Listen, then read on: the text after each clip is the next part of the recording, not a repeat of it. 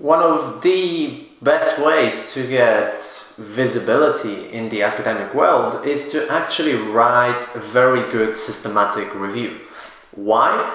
Because writing a, systema- a systematic review is really, you know, the place to go for researchers to look up information on a specific topic because it's basically the synthesis of lots and lots of research right? So, you know, whoever in the future looks up a specific topic, they will likely go to your systematic review to get uh, detailed information about it rather than read, you know, a million different papers on it. So that's why it can really give you a lot of visibility.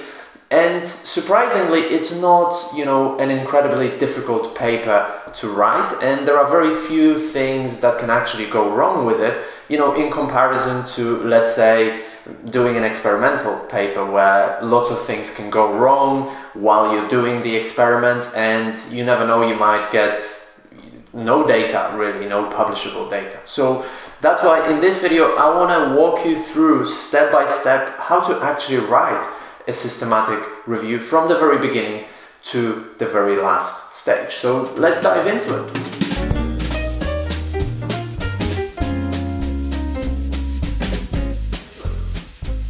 If you're new here, my name is Marek Kiczkowiak and I run Academic English Now, where I help um, PhD students and researchers write research papers for high impact journals. And in this video, we're going to talk about the step-by-step -step process of writing a systematic review paper.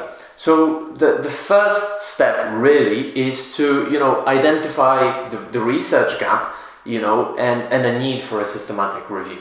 If you don't know what a research gap is, I'm not going to get into that right now, but there is another video that I did um, where you can find out more about it. But in essence, you know, there's got to be a justification because maybe somebody has already done uh, a systematic review on that topic, so there's no point in doing another one, right?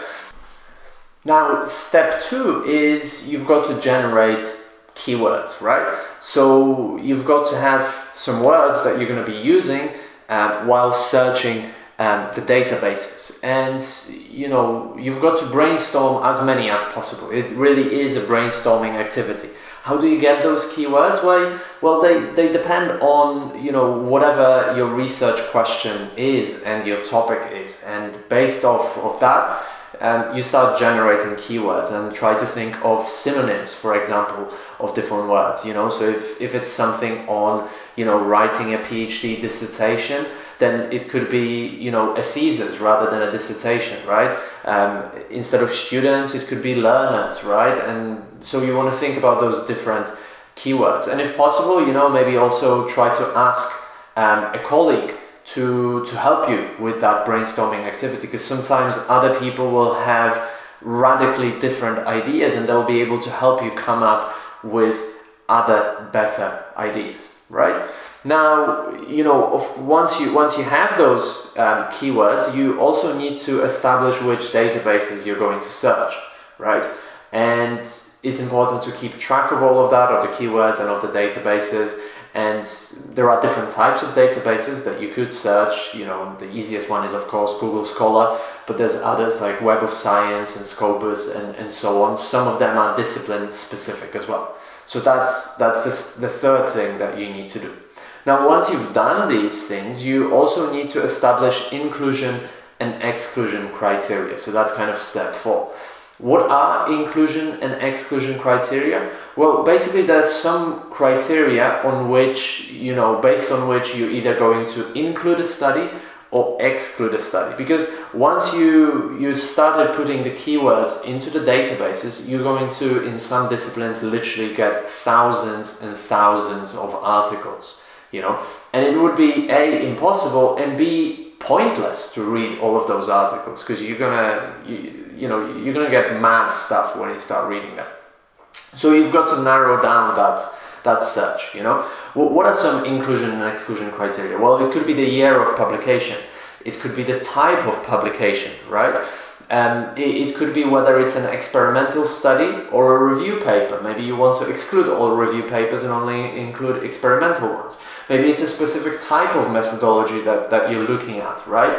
Or a specific subtopic or, or something like this, right? So define those inclusion and exclusion criteria. That's step number four. And now, you know, you can conduct, you can start conducting the, the literature review search.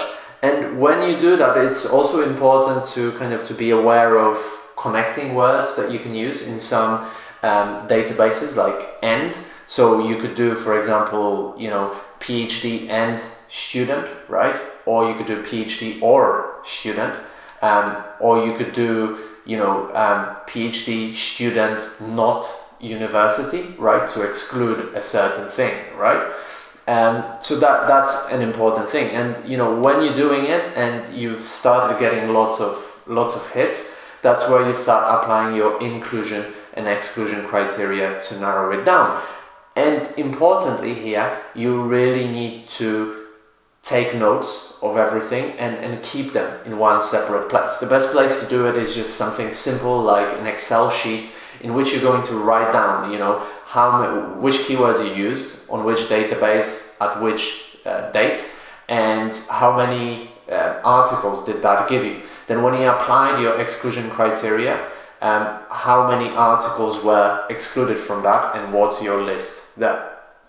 Now once you've done this initial inclusion and exclusion, what you need to do next is dive a little bit deeper and start looking at you know the titles of the articles and the abstracts and screen those to also get rid of any irrelevant articles.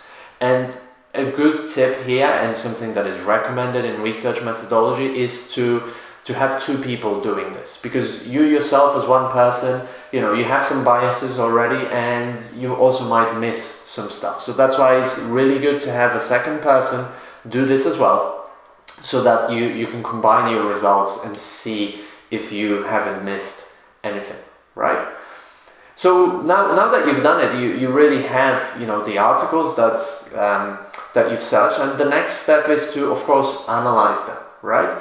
And the different ways of analyzing um, literature reviews really depending on the methodology that you that you apply and what you want to achieve, right? So I won't get into you know the, the details here, but it's important that you choose a method that is appropriate for whatever you want to achieve right?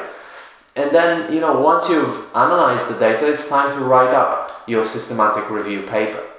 How do you do that? Well, in essence, a systematic review paper is not structured any differently from an, another research paper. So it will have an introduction, right, where you state the importance of the topic, briefly review the literature, you'll present the research gap, and you'll present the aim of the paper, right?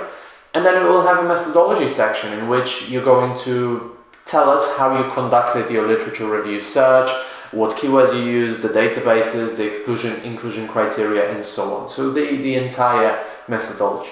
And then you're going to present the results of your systematic review, um, you know, which should be a synthesis of all the papers that you have read, typically organized by topics and subtopics, right? That's the easiest way of going about it.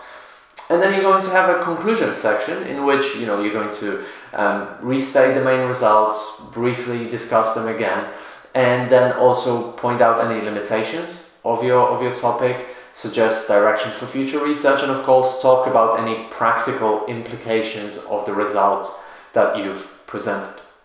So this is basically you know a step-by-step -step approach that allows you to um, conduct and write a systematic review. And if you enjoyed this video, then hit the like and the subscribe button so you don't miss future videos. And if you want to really accelerate your progress and write research papers for high impact journals, then let's talk. I've scheduled some time in my calendar to speak to you one to one.